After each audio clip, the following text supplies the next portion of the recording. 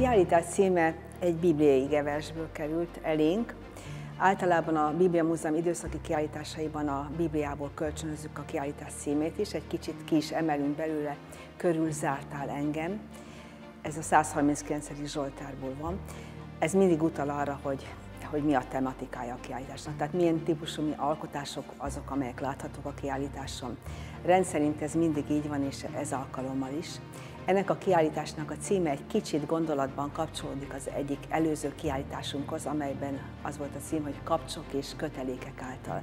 Ezt a gondolatot mélyítettük tovább, mégpedig az emberi kapcsolatokban az érintés és az egymás felé mozdulás irányába. És természetesen a Biblia égevers arra utal, hogy az Istennek is van egy felénk való mozdulása, egy körülölelése az életünknek, olyan alkotások jelennek meg, ahol ezek a mozdulások megmutatkoznak, az alkotók ezeket megfestették, de nagyon érdekes, mert a kiállításon olyan alkotások is, vagy szobrok, tehát képek, szobrok láthatóak, ahol pont ez hiányzik az emberi kapcsolatból, ahol az ember magányos, és nincs, aki megölelje, nincs, aki megérintse.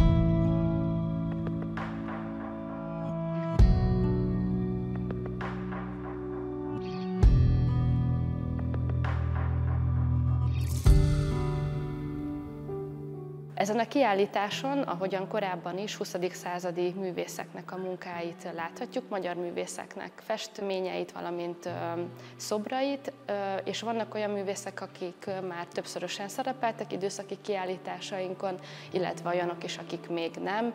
Például a kiállítás plakátján meghívóján szereplő Ruzicskai György karmester című munkája, valamint Amerigó Tóth szobrászművész munkája is látható.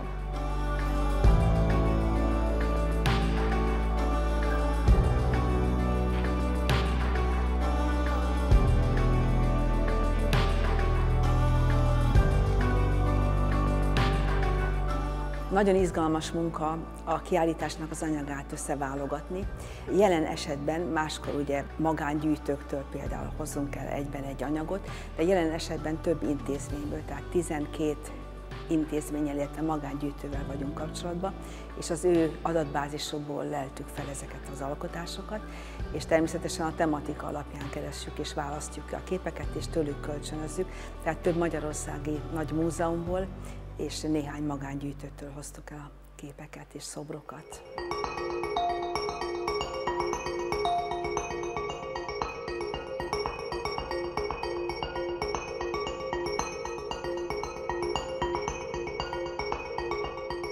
Vannak olyan művészek, akiknek egy-egy kiemelt képe is jelentős bemutatásra kerül a kiállításon. Ezen a mostani tárlaton Szőnyi István 20-as éveinek, 1920-as évek végén született munkáinak egyik fő műve, Anya gyermekeivel című műalkotása, ami a kiállításon a beköszönő falra került. Egyrészt azért, mivel hogy a, a család az, ami ennek a kiállításnak egy, egy kiinduló pontja, ami a, a műveken megjelenik, és ennek a hangsúlya az édesanyja, ahol egy védelmező, ölelő szerepében a kisgyermekeit átöleli. A kép azt lehet mondani, hogy művészettörténeti szempontból vizsgálva is egy hagyományos képtípusnak megfeleltethető, ugyanis már a reneszánsz idejétől fogva az anya gyermekével, anya nagysága, mint egy Madonna szerepében megjelenő női alakként fedezhető fel a festményem.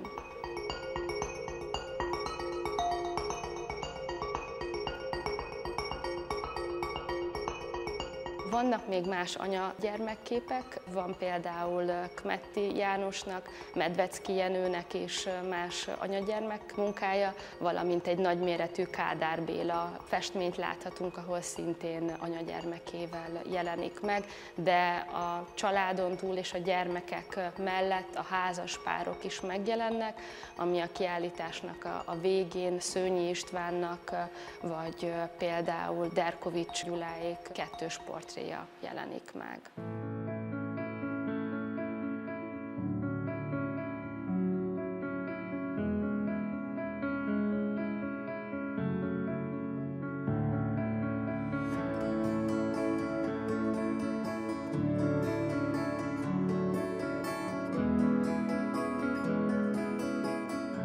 31 alkotónak a munkái láthatók itt ebben a nem túl nagy kiállító térben, de mégis egy nagy gazdagsággal próbáljuk a, a látogatókat ide vonzani.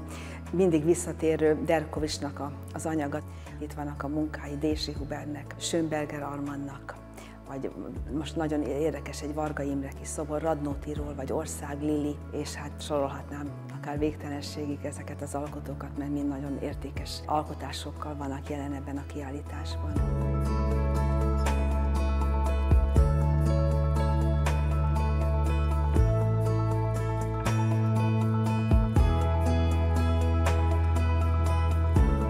Kiállításhoz készülünk, ahogyan szoktunk múzeumpedagógiai programokkal, szeretnénk minden korosztály számára foglalkozást kínálni, emellett pedig több szubjektív tárlatvezetéssel készülünk, művészettörténeti, irodalomtörténeti vonatkozásban, illetve a múzeumok éjszakájára is készülünk, ami az idei évben június 24-én lesz, kicsiknek és nagyoknak egyaránt.